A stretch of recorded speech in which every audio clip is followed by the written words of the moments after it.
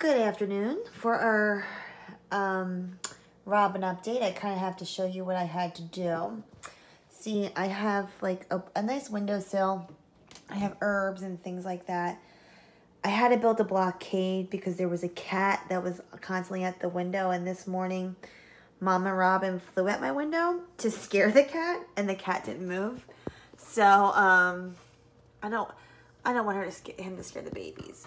So the hatchlings are in there. You can see they're getting kind of big. Their eyes are open. You can really see that they're able to see now. And you can, their feathers are starting to get it, come in really, they have a lot more feathers than they did originally. They're looking more like robins when they stand up when mom or pop and the, the, the dad's around a lot too and they bring them food. They'll both, they'll stand up and you can see their red bellies they're really starting to look like a grown-up robins. We're getting close to calling them fledglings.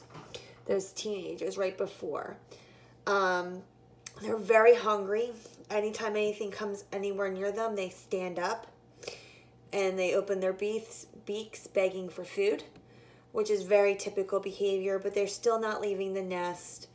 Um, and that was my concern is not so much that Neville scares mama. I don't like that he scares the mama robin I want her to feel safe here, but I don't want him to scare the babies and the babies aren't able to fly if they fall.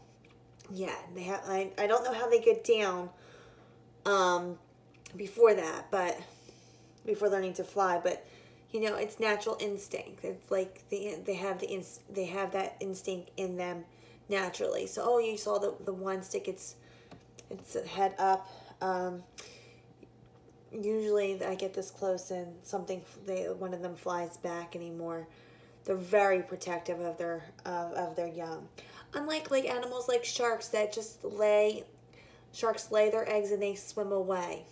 They don't they don't take part in raising their young at all. But robins, birds, a lot of birds do this where they hatch they stay on the eggs.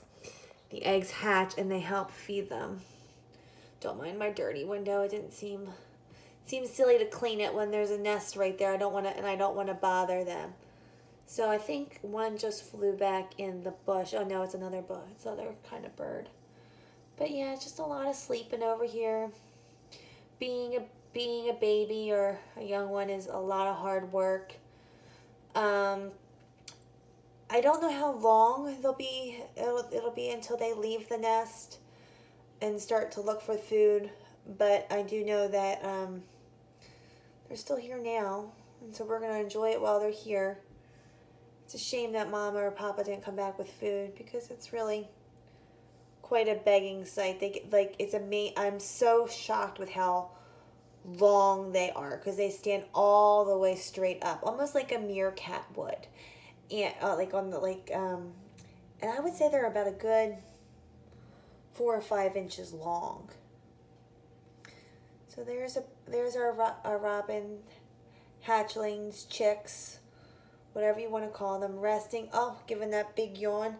Yeah, there's Papa Robin. He sees me. Mama Robin. There you go. See how they stand up? You can see the red under on the belly. And she that's what she does. She feeds them. She has something in her mouth and she just kind of shoves it down their throat. She's giving and I think that's actually Papa and he's giving me the eye. Wants to make sure that he knows I'm there, that he's there protecting his young. And obviously, uh, you never mess with a bird's nest, friends.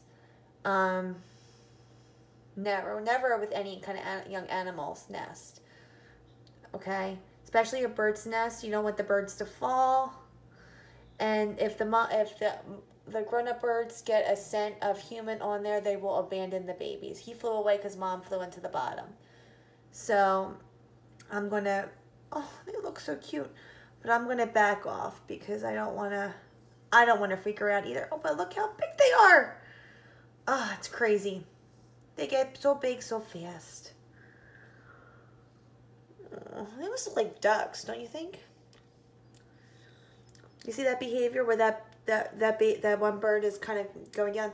That's the bird cleaning itself, like how a cat licks itself. It kind of pecks itself with its feather, um, its beak. It, it pecks its beak with its its feathers with its beak. Ugh. All right, See you guys.